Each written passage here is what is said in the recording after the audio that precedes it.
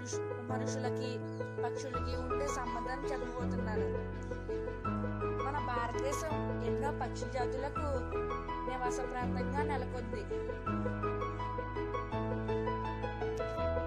రకరకాల పక్షులు అవి చేసే చప్పులు ఎంతో ఆహ్లాదకరంగా ఉండేవి.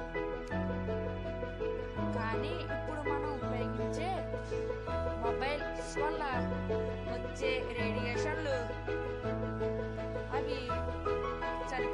కారణమవుతున్నాయి.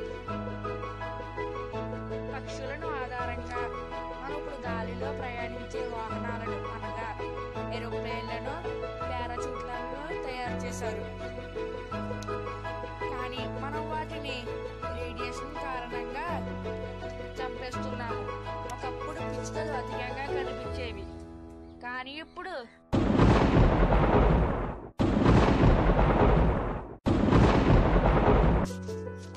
కాకుండా పక్షులు. ఆహారంపై ఉండే కీటకాలను పంటలలో ఉండే కీటకాలను తినేవి. దానితో మనం రసాయనిక ఎరువులు వాడవలసిన అవసరం ఉండేది కాదు. కానీ ఇప్పుడు అవి చనిపోవడంతో మనం రసాయనిక ఎరువులను వాడుతున్నాం. దాంతో మనకు వివిధ రకాల జబ్బులు క్యాన్సర్ వంటివి వస్తున్నాయి. దీనివల్ల నేను చివరిగా చెప్పేది ఏమిటంటే save birds and save lifes